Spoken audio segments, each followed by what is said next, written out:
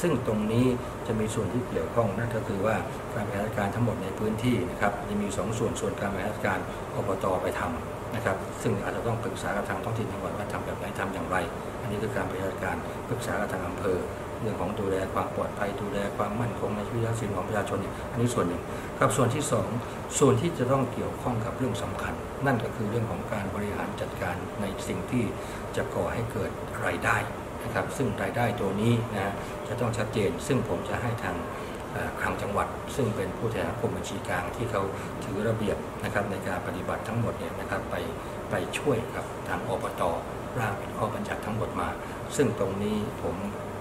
ในในในในส่วนมุมมองผมนะมันมันเกี่ยวพันเกี่ยวข้องกับหลายหลายส่วนราชการนะครับ แล้วก็เป็นเรื่องของระเบียบกฎหมาย ซึ่งมันต้องชัดเจนจริงๆผมก็ตั้งใจไว้ว่านะครับจะใช้เวลาประมาณเดือนพฤศจิกายน ให้เสร็จภายในเดือนพฤศจิกายนทั้งหมดให้ได้ เพื่อที่จะต้องการจะเปิดอย่างเป็นทางการในวันที่1ธันวาคม ถือว่าเป็นของขวัญส่งท้ายปีเก่า แล้วก็ต้อนรับปีใหม่ให้กับคนจังหวัดเลยด้วย แล้วก็ให้กับนักท่องเที่ยวที่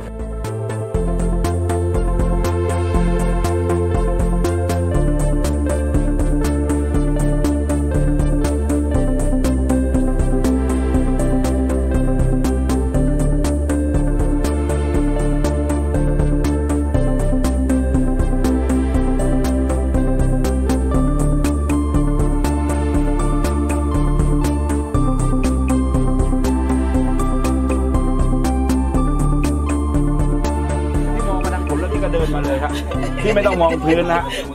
ฮะพี่ไม่ต้องพื้น แล้วก็คุยมาอย่างเงี้ยพี่ก็เดินก้าวมาฟังผมพูดไปเนี่ยมองไปแล้วก็เดินมาพี่